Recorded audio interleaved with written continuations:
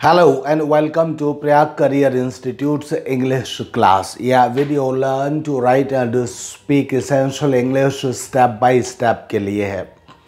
इस वीडियो में हम हैज़ हैव और हैड के कुछ यूजुअल मीनिंग से अलग अर्थ रखने वाले शब्दों के साथ कुछ हिंदी में सेंटेंसेस होते हैं। उन सेंटेंसेस को सीधा हम अंग्रेज़ी में ट्रांसलेट करना सीखेंगे। आइए सबसे पहले हम इन सेंटेंसेस को ट्रांसलेट करने में जो रूल्स यूज़ किए जाएँगे या जो नियमों का प्रयोग किया जाएगा, सबसे पहले उन रूल्स नियम या फिर उन फॉर्मूलाज को एक बार पढ़ लेते हैं और देख लेते हैं। इसके बाद फिर हम सेंटेंसेस को ट्रांसलेट करने की ओर चलेंगे। सबसे पहले है, सबसे पहला फॉर्मूला है सब्जेक्ट और सब्जेक्ट के साथ सिंगुलर सब्जेक्ट के साथ हैज़ और प्लूरल सब्जेक्ट के साथ हैव लगाते हुए, उसके बाद में फिर हम बीन लिख देते हैं बी की थर्ड फॉर्म बीन और बीन के बाद फिर हम कोई नाउन या एडजेक्टिव लिख देते हैं और जब नाउन और एडजेक्टिव लिख देते हैं तो उसका अर्थ होता है रह चुका है, रह चुका हूँ, रह चुके हैं, रह चुकी है, रह चुकी हूँ रह चुके हैं इस तरह से। यानी रह चुका है रह चुकी है रह चुका हूँ रह चुकी हूँ रह चुके हैं। इस तरह से ये शब्द ऐसे सेंटेंसेस के लास्ट में ये शब्द आते हैं। जैसे मैं मॉनिटर रह चुका हूँ लिखा हुआ यहाँ पर मैं आ, मैं टीचर रह चुका हूँ I have been a teacher मैं पुलिस इंस्पेक्टर रह चुका हूँ I have been a police inspector इसका अर्थ होता है कि मैं कोई चीज़ था लेकिन अब नहीं हूँ। इसका अर्थ ये होता है। इसमें एडजेक्टिव भी आ सकता है और नाउन का भी प्रयोग किया जा सकता है। एडजेक्टिव का मतलब यह है यह कमरा पहले बहुत बड़ा रह चुका है अब ये छोटा है तो this room has been very big now it is a small तो यह पहले बहुत बड़ा रह चुका है अब ये छोटा है कमरा। तो इस तरह से भी आ, हम कह सकते हैं।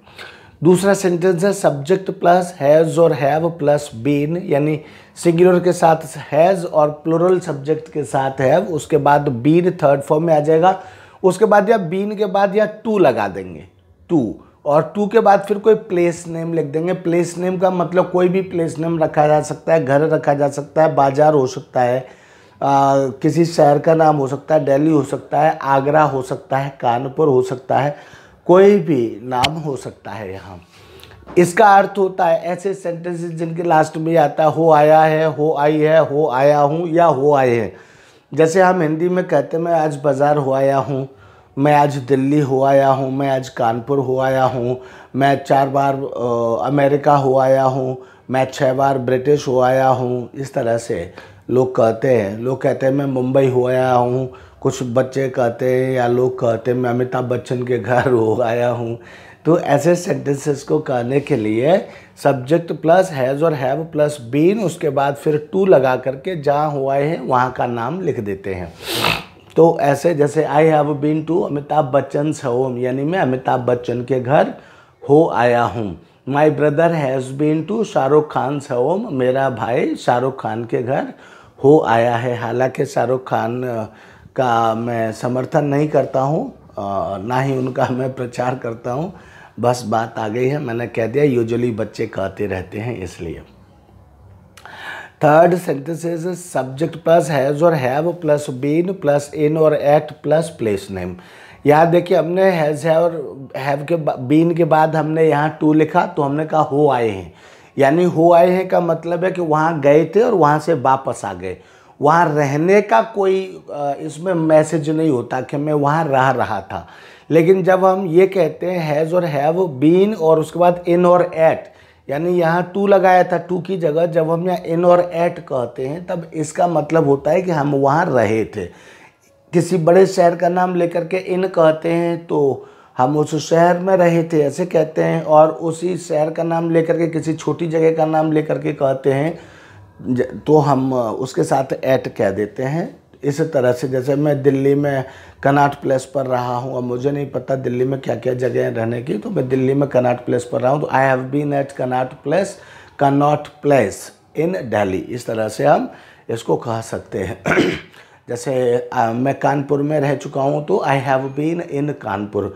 वह दिल्ली में रह चुका है तो he has been in Delhi इस तरह से हम ये सेंटेंस कहते हैं। ऐसे सेंटेंसेस के लिए जिनमें रह चुका है, रह चुकी है, रह चुके हैं, रह चुका हूँ आता है, उन सेंटेंसेस के लिए ये हम रूल या फॉर्मूला यूज़ करते हैं। मेरा भाई लंदन में रह चुका है my brother has been in Delhi मेरे पापा आर्मी में रह चुके हैं मीन्स मेरे पापा आर्मी में थे, किसी डिपार्टमेंट का भी नाम यहाँ हो सकता है। तो my father has been in army ऐसे भी कहा जा सकता है। अब मेरे दोस्त के पिताजी पुलिस में रह चुके हैं तो my friend's father has been in police इसी तरह से आ, मेरे पिताजी के चाचा जी पॉलिटिक्स में रह चुके हैं। मीन्स वो पॉलिटिक्स में थे लेकिन अब नहीं है। तो अगर इस तरह से भी कहना है तो माई माई माई अंकल्स फादर या माई माई अंकल्स फ्रेंड या माई फ्रेंड्स अंकल जो भी है हैज़ बीन इन पॉलिटिक्स इस तरह से हम बात कहेंगे। इसके बाद है फोर्थ सेंटेंस है फोर्थ फॉर्मूला है if plus subject had plus third form of the verb तो कुछ ऐसे सेंटेंसेस बोले जाते हैं इफ़ और हेड के साथ थर्ड फॉर्म में, जिनमें हम इम्प्रॉबल होते हैं। इम्प्रॉबेबल का मतलब है कि बियॉन्ड इमेजिनेशन जिनको हम सोच नहीं सकते। जैसे सोच नहीं सकते मतलब वो पूरा नहीं हो सकते। पूरा होने की उनकी संभावना नहीं होती लेकिन फिर भी हम कहते हैं जैसे आ, अगर आ, अगर मैं अगर मैं आ, अगर मैं क्रिकेट खेलता तो अब तो मैं क्रिकेट नहीं खेल सकता तो if I had played cricket इसी तरह से अगर तुम मेरे घर आते if you had come to my home अगर वह मैच जीत जाता if you had won the match इस तरह के सेंटेंसेस कहने के लिए अगर मैं चिड़ियों की तरह आसमान में उड़ता तो if I had flown in to the sky like a bird तो या लाइक बर्ड्स इस तरह से तो अगर प्लस आते थी अगर मैं झूठ बोलता तो इफ़ आई हैड लाइड इस तरह के सेंटेंसेस इस फॉर्मूला से बनाए जाते हैं। If subject had plus third form plus object अगर ताते थी इसी तरह से अगर हमें कहना होता है इफ़ सब्जेक्ट हैड उसके बाद फिर बीन आता है बीन के बाद फिर प्लस उसके बाद फिर नाउन या एडजेक्टिव आता है और अगर होता, होती, होते। इस तरह का हम एक पहले के सेंटेंसेस में, पहले की मैं समझता हूँ फोर्थ फिफ्थ एक्सरसाइज में हम पहले भी ये बात कर चुके हैं। वहाँ भी एक आता है if subject were plus noun और एडजेक्टिव उसका भी अर्थ होता है या उसका भी प्रयोग किया जाता है अगर होता, होती, होते के लिए। जैसे अगर मैं तुम्हारा भाई होता तो if I were your brother अगर वह मेरा भाई होता if he were my brother अगर वह मेरी बहन होती तो if she were my sister हम इस तरह से सेंटेंसेस को यूज़ करते हैं या इस तरह से हम चीज़ों को मतलब इस तरह से हम सेंटेंसेस को हम कहते हैं। सॉरी जैसे वहाँ हम कहते हैं, अगर वह मेरी बहन होती शी वर माई सिस्टर तो उसी बात को हम इस तरह से भी कह सकते हैं if plus subject had been plus noun और एडजेक्टिव यानी अगर होता, होती, होते तो वर की जगह हम हैड बीन भी कह सकते हैं, सिर्फ़ इतनी बात है। जैसे अगर तुम फौजी होते if you had been a soldier सैनिक होते, अगर वह पुलिस वाला पुलिस इंस्पेक्टर होता तो if he had been a police inspector अगर यह पेन लाल होता if this pen had been red अगर यह पेन तुम्हारा होता if this pen had been yours अगर यह पेन बड़ा होता if this pen had been big अगर यह पेन महँगा होता if this pen had been expensive इस तरह से। अगर मैं तुम्हारा भाई होता if I had been your brother इस तरह से इन सेंटेंसेस का यूज़ किया जाता है। इसके बाद जो हैज़ है हैज़ का मतलब ईट्स हैव का मतलब ईट और हैड का मतलब ईटन यानी कि हैज़ का मतलब हैज़ का मतलब ईट्स ड्रिंक्स इंजॉयज़ और टेक्स के लिए भी किया जाता है। जब हैज़ का मतलब जब हैज़ का यूज़ ड्रिंक्स के लिए किया जाएगा तो हैव का मतलब ड्रिंक के लिए हो जाएगा और हेड का मतलब ड्रंक के लिए हो जाएगा। अगर तो इस तरह से भी इसका यूज़ किया जाता है। यानी कि मैंने खाना खा लिया है तो I have had I have had जैसे मैंने खाना खा लिया है तो आई हैव ईटन फ़ूड तो आई हैव ईटन फ़ूड की जगह हम कह सकते हैं I have had food had की जगह ईटन तो यहाँ इस तरह से आई हैव ईटन फ़ूड इसी तरह से अगर मैंने कहा, मैंने चाय पी ली है तो I have drunk tea I have drunk tea drinks tea has का मतलब ड्रिंक्स हो गया तो हैड का मतलब क्या हो जाएगा? ड्रंक हो जाएगा. तो I have drunk tea tea तो ड्रंक की जगह ये भी हो सकता है आई हैव हैड टी यानी हैव का मतलब जो पजेसिव केस में होता है और जो परफेक्ट टेंसेस में ऑक्सिलरी वर्ब के रूप में होता है, उसके बाद में हैव का प्रयोग इस ईट और ड्रिंक के केस में भी होता है। Seventh sentence is subject plus is was या आर और वर प्लस लॉस्ट और गॉन वैसे तो लॉस्ट गॉन का कोई पैसे वॉइस नहीं होता है, लेकिन खोने के अर्थ में इज़ और वॉज़ के साथ या आर या वर के साथ वर के साथ में लॉस्ट या गॉन का प्रयोग हो जाता है। और जब इस तरह से कि पेन इज़ लॉस्ट या pen is gone my knife is gone my car is gone इस तरह से अगर कोई चाइल्ड इज़ गॉन अगर बॉल इज़ गॉन इस तरह से अगर कोई बात कही जाती है तो उसका अर्थ हो गया, होता है, खो गया है, खो गई है। तो इस तरह से खो गया, खो गई के अर्थ में ये फॉर्मूला यूज़ किया जाता है, जो सेवन्थ है। इसके बाद एट्थ फॉर्मूला में है subject should have been plus to plus place name यानी इसको हम कहते हैं, इसका अर्थ होता है हुआना चाहिए था। हुआना चाहिए था, जैसे हम कहते हैं, तुम्हें मंदिर हुआना चाहिए था। तो you should have been to temple तुम्हें अपने पापा के घर हुआना चाहिए था। You should have been to your parents house तुम्हें अपने भाई के पास हुआना चाहिए था या भाई के घर हुआना चाहिए था। You should have been to your brothers home या you should have been to your brother इस तरह से हम कह सकते हैं। तुम्हें दिल्ली होना चाहिए था, आज तुम खाली थे तो you should have been to Delhi इस तरह से हम ये सेंटेंस कह सकते हैं। इसी तरह से अगर हम यहाँ टू लगा देते, तब तो इसका अर्थ होता है हो आना चाहिए था, लेकिन अगर टू की जगह इन और एट लगा देते हैं हम तो उसी का अर्थ हो जाता है रह आना चाहिए था, यानी तुम्हें जाना चाहिए था, वहाँ रहना चाहिए था, तब आना चाहिए था। तो इसका अर्थ हो जाता है जैसे he should have been in Delhi for fifteen days यानी उसको दिल्ली में पंद्रह दिन रह आना चाहिए था। Your brother should have been in Kanpur for at least three days यानी तुम्हारे भाई को कानपुर कम से कम तीन दिन रह आना चाहिए था, यानी तीन दिन रुकना चाहिए था। ऐसे सेंटेंस के लिए हम should have been plus in रह आना चाहिए था, कहने के लिए हो जाता है। अब could have been plus to plus place name जब could have been to plus place name कहते तो उसका मतलब होता है होके आ सकता था, आ सकती थी, आ सकते थे। जैसे तुम बाज़ार होके आ सकते थे आज, यानी कि तुम गए नहीं। तो you could have been to market today यानी कि तुम गए नहीं। तुम आज बैंक होके आ सकते थे तो you could have been to bank today यानी कि तुम बैंक गए नहीं। तो इसमें जाना और आना शामिल होता है। हम कहते हैं कि तुम बैंक होके आ सकते थे तो you could have been to bank today हम कहते हैं कि तुम आ, तुम आज स्कूल होके आ सकते थे फ़ीस पता करके आते कम से कम.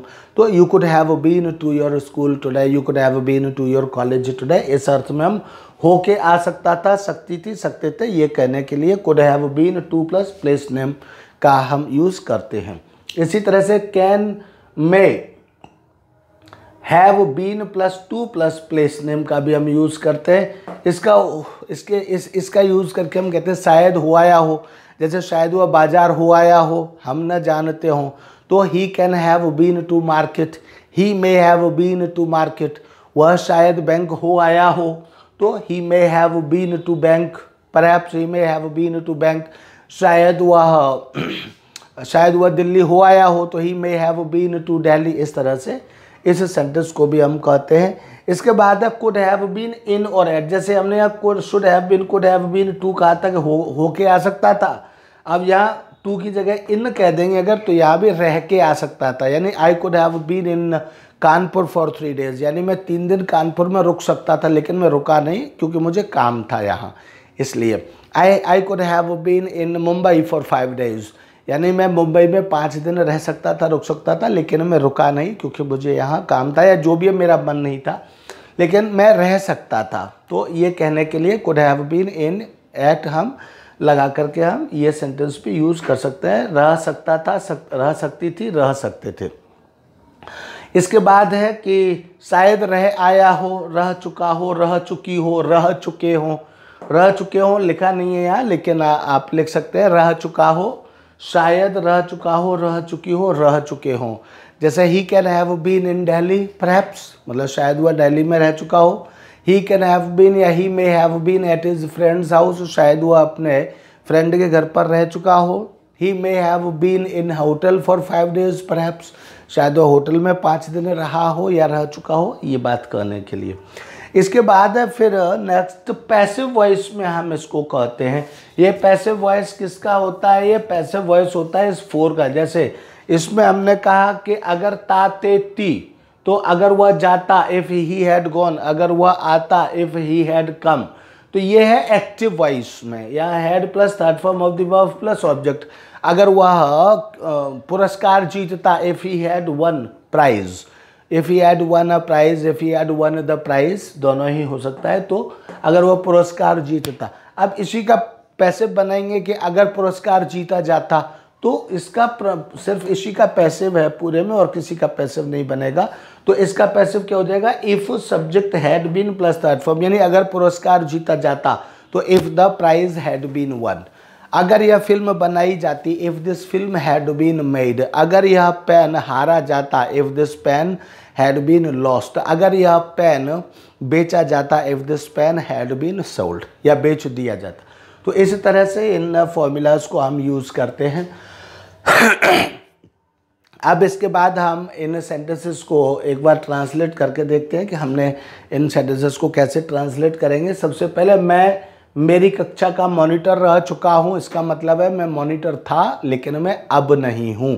तो इसमें फॉर्मूला क्या यूज़ करते हैं? सब्जेक्ट प्लस हैज़ और have plus been plus noun और एडजेक्टिव। तो क्या हो जाएगा? सब्जेक्ट क्या है? मैं मैं की अंग्रेज़ी आई आई हमने यहाँ लिख लिया और आई के साथ हैव आएगा तो हैव बीन और क्या रह चुका हूँ? मॉनिटर तो I have been the monitor of my class इस तरह से सेंटेंस ट्रांसलेट हो गया। I have been the monitor of my class यानी मैं मेरी क्लास का मॉनिटर रह चुका हूँ।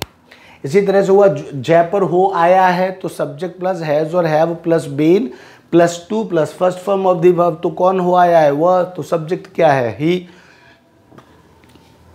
ही के साथ क्या आएगा? ही लिख दिया हमने, लिख दिया ही ही के साथ क्या आएगा? हैज़ बीन टू तो हैज़ बिन टू हमने लिख दिया। अब कहाँ हुआ आया है? जयपुर तो हमने जयपुर लिख दिया। इस तरह से वह जयपुर हो आया है कि English he has been to Jaipur हो गया। इसी तरह से हम आगरा में रह चुके हैं। तो कौन रह चुका है आगरा में हम? तो हम की इंग्लिश वी अब वी के साथ क्या आएगा? हैव बीन इन तो हैव बीन इन वी के साथ हैव आता है बीन इन सब में आना है। आगरा में रह, रहना दिखाने के लिए। अगर हो आए हैं तो टू लगाते। तो वी हैव बीन इन अब कहाँ रह चुके हैं? आगरा में तो Agra we have been in Agra. इसी तरह से अगर तुम चुनाव जीत जाते तो ये वाला हो गया if subject had third form अगर तुम चुनाव जीत जाते तो क्या हो जाएगा? इफ़ अगर के लिए हमने इफ़ लगा दिया पहले। फॉर्मूला में आया हुआ है इफ़ उसके बाद में क्या है, कौन जीत जाता? तुम तुम की अंग्रेज़ी यू यू हमने लगा दिया। उसके बाद हैड प्लस थर्ड फॉर्म तो had plus third form verb क्या है इसमें? जीतना जीतना की अंग्रेज़ी विन विन की थर्ड फॉर्म वन तो इफ़ यू हैड वन क्या जीत जाते? चुनाव the election if you had won the election इस तरह से अगर तुम चुनाव जीत जाते कि इंग्लिश हो गई if you had won the election इसके साथ अगर वह राजा होता तो अगर वह राजा होता if subject had been plus noun और एडजेक्टिव तो क्या हो जाएगा? अगर वह राजा होता तो if he had been if he had been क्योंकि सब्जेक्ट क्या अगर होता होती, दो फॉर्मूला होते हैं if subject had been plus noun और एडजेक्टिव या फिर if plus subject plus were plus noun और adjective if subject had been noun और एडजेक्टिव तो चूँकि हम यहाँ हैज़ हैव हैड का ही यूज़ सीख रहे हैं, इसलिए हम इसमें हैड बीन का ही प्रयोग करेंगे और उसी की बात करेंगे। तो अगर वह राजा होता तो इफ़ इफ़ हो गया, उसके बाद सब्जेक्ट क्या है? वह वह की अंग्रेज़ी ही तो हमने लिख दिया इफ़ ही, उसके बाद हैड बीन तो हैड बीन अब क्या होता? राजा a king if he had been a king यानी अगर वह राजा होता कि इंग्लिश हो गई। मेहमान खाना खा चुके हैं तो मैंने यहाँ बताया, वैसे तो खाने की अंग्रेज़ी ईट ईटन होती है, लेकिन यहाँ पर्टिकुलरली ये सेंटेंस इसीलिए लिखा है कि हैज़ हैव हैड का मतलब जो है, वो ऑक्सिलरी वर्ब की तरह भी यूज़ किया जाता है। हैव का मतलब गेट में भी उसका यूज़ किया जाता है। और इसमें जो जिस तरह से वो एक मेन वर्ब के रूप में आई है ऑक्सिलरी वर्ब के रूप में भी इसमें आ रही है और मेन वर्ब के रूप में भी इसमें आ रही है। तो इस तरह से भी यूज़ किया जाता है। और एकदम प्योर मेन वर्ब यानी ईट ड्रिंक इंजॉय टेक इस अर्थ में भी यूज़ किया जाता है। तब ये प्योर मेन वर्ब होती है और इसकी फ़र्स्ट, सेकंड, थर्ड फॉर्म के रूप में इसको यूज़ किया जाता है। यानी हैज़ का मतलब ईट्स भी होता है ड्रिंक्स भी होता है इंजॉयज भी होता है। अगर हैव कहेंगे तो ड्रिंक ईट टेक इंजॉय हो जाएगा। हैड कहेंगे तो eaten drunk enjoyed taken received हो जाएगा। तो इस तरह से इस फॉर्म में भी हैव का यूज़ किया जाता है। तो यहाँ पर हम कहेंगे, मेहमान खाना खा चुके तो मेहमान की अंग्रेज़ी दी गेस्ट्स अच्छा दी गेस्ट मैंने यहाँ में माफ़ी चाहूँगा। द गेस्ट्स मैंने नहीं लिखा है तो मैं यहाँ छोटा सा लिख देता हूँ। अब दी गेस्ट्स दी गेस्ट्स अब गेस्ट क्या है? प्लूरल है तो प्लूरल के साथ क्या आएगा? हैव आएगा। तो दी गेस्ट्स हैव और हैव के साथ क्या आएगा? हैड यानी ये तो आ, ये जो हैव है ये इसकी ऑक्सिलरी वर्ब है प्रेजेंट परफेक्ट टेंस की और ये थर्ड फॉर्म है जिसका मतलब है ईटन इस तरह से the guests have had food, इसका अर्थ ये हो जाता है, the guests have had food. ये इसका अर्थ हो जाता है, यानी मेहमान खाना खा चुके हैं, the guests have had eat, have had food. इसी तरह से अगर हमें कहना हो कि मेहमान चाय पी चुके हैं तो हम कह सकते हैं, the guests have had tea. अगर हम कहते हैं कि मेहमान मनोरंजन कर चुके हैं तो the guest have had entertainment इस तरह से हम आ, कह सकते हैं। इसी के साथ नेक्स्ट है बॉल खो गई है तो सब्जेक्ट क्या है? बॉल ये चूँकि ये भी पैसे होता है वैसे। तो बॉल बॉल को हमने कहा लिख दिया यहाँ बॉल द बॉल या उंगली से थोड़ा सा डिस्टर्ब हो गई ये लाइन बॉल और बॉल के साथ में चूँकि क्या है सिंगुलर है खो गई है तो प्रेजेंट के लिए प्रेजेंट के लिए इज़ या आर में से आना है। तो चूँकि सिंगुलर है तो क्या आएगा? इज़ आएगा द बॉल इज़ और उसके बाद गॉन या लॉस्ट में से हम कुछ भी यहाँ लिख सकते हैं। तो हमने लिख कह दिया द बॉल इज़ गॉन यानी बॉल खो गई है, ऐसा हो गया। तो मैं बाज़ार हो आना चाहिए था। तो हो आना चाहिए था means subject plus should have been to plus place name तो इसलिए क्या हो जाएगा? तुम्हें बाज़ार किसको आना चाहिए था? तुम्हें तो तुम्हें की इंग्लिश यू यू के साथ शुड हैव बीन और हुआ ना हुआ ना के लिए टू लगाते हैं। तो शुड हैव बीन टू तो शुड हैव बीन टू ये हमने यहाँ पर लिख दिया। और उसके बाद कहाँ हो आना चाहिए था? बाज़ार तो टू मार्केट। नाउन की जगह मार्केट हो गया। तो इस तरह से you should have been to market तुम्हें बाज़ार हो आना चाहिए था, यानी you should have been to market तुम्हें मंदिर हो आना चाहिए था you should have been to temple तुम्हें दिल्ली हो आना चाहिए था तुम्हें संसद भवन हो आना चाहिए था you should have been to parliament इस तरह से कहेंगे। उसे मुंबई में रह आना चाहिए था। तो यहाँ हो आना चाहिए था के लिए टू लगाते और रह आना चाहिए था के लिए इन और एट लगाते। बाकी फॉर्मूला वही होता है। तो ही किसे रह आना चाहिए था? उससे तो उसे की इंग्लिश ही। हमने यहाँ ही लिख दिया। उसके बाद should have been should have been हमने लिख दिया। उसके बाद क्या? रह आना चाहिए था। रह आना के लिए इन और एट लगाते। तो हमने यहाँ चूँकि मुंबई की बात कर रहे हैं, बड़े शहर की तो इधर लगा दिया। हमने he should have been in. अब कहाँ? मुंबई में। तो हमने यहाँ मुंबई लिख दिया और he should have been in Mumbai, यानी कि उसे मुंबई में रह आना चाहिए था, ये हमने कह दिया। टेंथ सेंटेंस हुआ, बाज़ार होके आ सकता था तो subject plus could have been to होके आने के लिए टू लगाते तो subject plus could have been to plus place name तो होके आ सकता था ही कौन होके आ सकता था, वह वह की English he he could have been ये तो फॉर्मूला से ले लिया हमने और होके आने के लिए to he could have been to अब कहाँ से होके आ सकता था? बाज़ार से तो market he could have been to market यानी वह बाज़ार से होके आ सकता था। He could have been to market इसी तरह से वे शायद बाज़ार हो आए हों, हो आए हों तो क्या है? सब्जेक्ट प्लस कैन और में हैव बीन प्लस टू हो आने के लिए टू प्लस प्लेस नेम लगाते हैं। तो शायद वे बाज़ार हो आए हों तो शायद वे बाज़ार हो आए हों के लिए क्या हो जाएगा? दे मे हैव बीन यानी सब्जेक्ट प्लस कैन और मे हैव बीन टू तो यहाँ क्या हो गया? They may have been to और कहाँ हो आए हों? मार्केट तो they may have been to market यानी शायद वे बाज़ार हो आए हों। They may have been to market ये हो जाएगा। इसी तरह से मैं भी बेंगलोर में रह सकता था। मैं भी बेंगलोर में रह सकता था। तो रह सकता था के लिए क्या हो जाएगा? हो के आने के लिए टू और रह सकना के लिए इन और एट तो इसलिए क्या हो जाएगा? सब्जेक्ट को प्लस कुड हैव बीन सकता था सकती थी सकते थे तो could have been plus in और at plus place name sorry मुझे आ, थोड़ा सा मैं बीमार सा महसूस कर रहा हूँ तो इसलिए बार बार मुझे कफ हो रहा है। तो रह सकता था तो I too could have been in Bangalore हो गया, सीधी सी बात।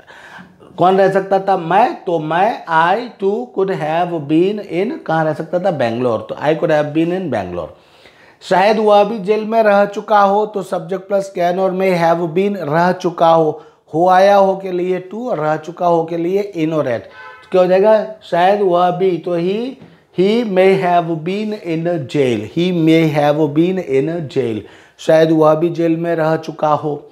इसी तरह से अगर वह मैच आज, अगर यह मैच आज खेला जाता तो ये इसका पैसे वॉइस का है। अगर यह आज मैच खेला जाता तो कौन खेलता पता नहीं तो पैसे वॉइस का है। तो if subject had been plus third form तो इफ़ सब्जेक्ट किसको बनाएँगे? यह मैच यह मैच की इंग्लिश दिस मैच उसके बाद फिर हैड बीन फिर हैड बीन और थर्ड फॉर्म अच्छा यहाँ मैंने वन लिख दिया और यहाँ है खेला जाता। अगर यह मैच खेला जाता तो if this match had been और यहाँ पर हो जाएगा प्लेट मैंने यहाँ वन लिख दिया है।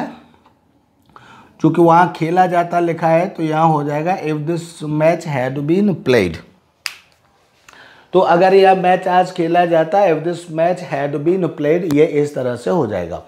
अब दूसरा है कि इसके नेगेटिव और इंट्रोगेटिव कैसे बनते हैं? तो जहाँ शायद प्लस चुका हो, चुकी हो, ये तो आइडिया और गैस करने वाले सेंटेंसेस होते हैं।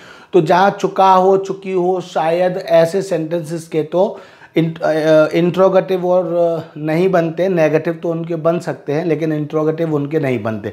प्लस अगर वाले सेंटेंसेस का भी इंट्रोगेटिव बनाना उचित नहीं है अदरवाइज़ इफ़ हटा करके ही उनका इंट्रोगेटिव बनाया जा सकता है।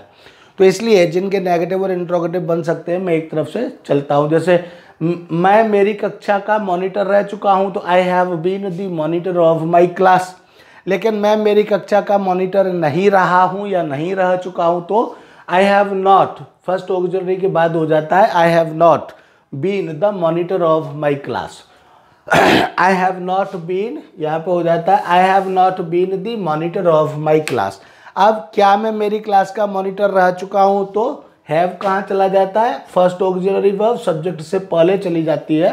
और हम कहते हैं have I been the monitor of my class क्या मैं मेरी क्लास का मॉनिटर रहा हूँ या रह चुका हूँ? रहा हूँ भी कह सकते हैं और रह चुका हूँ भी कह सकते हैं। तो have I been the monitor of my class दूसरा, वह जयपुर हो आया है तो he has been to Jaipur. अगर हमें कहना है, वह जयपुर नहीं हो आया है तो he has not been to Jaipur. यानी हैज़ के बाद यहाँ फ़र्स्ट नॉट लगा देते हैं। He has not been to Jaipur अब अगर हमें कहना क्या हुआ? जयपुर हो आया है तो हैज़ सब्जेक्ट से पहले आ जाती है और हम कहते हैं, has he been to Jaipur has he been to Jaipur has he been to Jaipur क्या हुआ? जयपुर हो आया है। और अगर हमें नेक्स्ट सेंटेंस पर आते हैं, हम आगरा में रह चुके हैं तो we have been in Agra अगर हमें कहना है हम आगरा में नहीं रह चुके हैं तो we have not we have not been in Agra. और अगर हमें कहना है क्या हम आगरा में रह चुके हैं तो क्या हो जाएगा? हैव सबसे पहले आ जाएगा और हो जाएगा have we been in Agra? Have we been in Agra? ये हो जाएगा. इसी तरह से अगर तुम चुनाव जीत जाते तो if you had won the election और अगर तुम चुनाव नहीं जीतते तो इफ़ यू हैड हैड के बाद नॉट आ जाएगा या if you had not won the election क्योंकि इफ़ से स्टार्ट हो रहा है तो इसलिए इसका इंट्रोगेटिव नहीं बनेगा। इसी तरह से अगर वह राजा होता if he had been a king और अगर वह राजा नहीं होता तो हैड के बाद में नॉट आ जाएगा if he had not been a king अगर वह राजा नहीं होता if he had not been a king मेहमान खाना खा चुके हैं the guests have had food और मेहमान खाना नहीं खा चुके हैं तो क्या हो जाएगा? The guests have not had food the guests have not had food मेहमान खाना नहीं खा चुके हैं। इसी तरह से बॉल खो गई है तो द बॉल इज़ गॉन और बॉल नहीं खो गई है तो the ball is not gone the ball is not gone और क्या बॉल खो गई है तो इज़ द बॉल गॉन ये हो जाएगा। क्या मेहमान खाना खा चुके हैं तो have the guests had food यह हो जाएगा, शायद मैंने, मुझे ध्यान नहीं है, बोला कि नहीं बोला थोड़ा सा इसलिए मैंने दोबारा बोल दिया है। एट्थ सेंटेंस पर तुम्हें बाज़ार हो आना चाहिए था। तो you should have been to market you should have been to market अच्छा तुम्हें बाज़ार नहीं हो आना चाहिए था तो यू शुड नॉट शुड के बाद फ़र्स्ट ऑक्सिलरी वर्ब के बाद नॉट लगा देते। You should not have been to market अब अगर इसको इंट्रोगेटिव बनाना है, क्या तुम्हें बाज़ार हो आना चाहिए था? तो क्या हो जाएगा? Should you should you have been to market should you have been to market क्या तुमको बाज़ार हुआ ना चाहिए था? इसी तरह से उसे मुंबई में रह आना चाहिए था। तो he should have been in Mumbai. अब उसे मुंबई में रह आना नहीं चाहिए था तो he should not he should not have been in Mumbai. और क्या उसे मुंबई में रह आना चाहिए था? तो शुड सब्जेक्ट से पहले चला जाएगा और हो जाएगा, should he have been in Mumbai? Should he have been in Mumbai? तो ये हो जाएगा। इसी तरह से वह बाज़ार होके आ सकता था तो he could have been to market और वह बाज़ार होके नहीं आ सकता था अगर नेगेटिव बनाना है तो he could not have been to market यानी कुड के बाद यहाँ नॉट आ जाएगा। कुड के बाद फ़र्स्ट ऑक्सिलरी वर्ब के बाद में नॉट आता है। तो he could not have been to market अब क्या वह बाज़ार होके आ सकता था तो क्या हो जाएगा? Could he have been to market could he have been to market तो ये हो जाएगा। इसी तरह से वे शायद बाज़ार हो आए हों तो they may have been to market शायद वे बाज़ार ना हो आए हों तो they may not have been यानी first form first auxiliary verb में तो मे के बाद हो जाएगा they may not have been to market they may not have been to market अब आ, क्या से ये नहीं बनाया जा सकता? बनाया जा, नहीं जाना चाहिए क्योंकि इसमें हम सिर्फ़ गैस कर रहे हैं इसलिए। नेक्स्ट इज़ मैं बेंगलोर में रह सकता था तो I too could have been in Bangalore उसके बाद मैं बेंगलोर में नहीं रह सकता था तो I could not have been in Bangalore I could not have been in Bangalore could not could के बाद नॉट आ जाएगा. Could not have been in Bangalore इसके बाद क्या मैं बेंगलोर में रह सकता था? इंट्रोगेटिव बनाना है तो could I have been in Bangalore could I have been in Bangalore क्या मैं बेंगलोर में रह सकता था? इसी तरह से शायद वह भी जेल में रह चुका हो तो he may have been in jail और न रह चुका हो तो क्या हो जाएगा? He may not have been in jail he may not have been in jail हो जाएगा। लेकिन इसको अब चूँकि ये गैस करने वाला है आइडिया लगाने वाला है, इसलिए इसका इंट्रोगेटिव तो हमें नहीं बनाना चाहिए। इसके बाद है, अगर यह मैच आज खेला जाता तो if this match had been played today आज के लिए today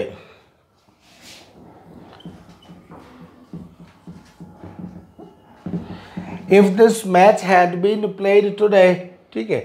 अब अगर हमको नेगेटिव बनाना है तो अगर यह मैच आज नहीं खेला जाता तो हो जाएगा if this match had not been played today ये थे सेंटेंसेस जो नेगेटिव और इंट्रोगेटिव में बनाने थे और ये इनको मैंने ट्रांसलेट किया फॉर्मूलाज को भी मैंने एक्सप्लेन किया। आ, मुझे उम्मीद है कि आ, आप लोगों की समझ में आया होगा आप इसकी प्रैक्टिस करेंगे इसके आ, बहुत जल्दी ही मैं कल तक मैं आपको दूसरा वीडियो, इससे अगला वीडियो दूँगा।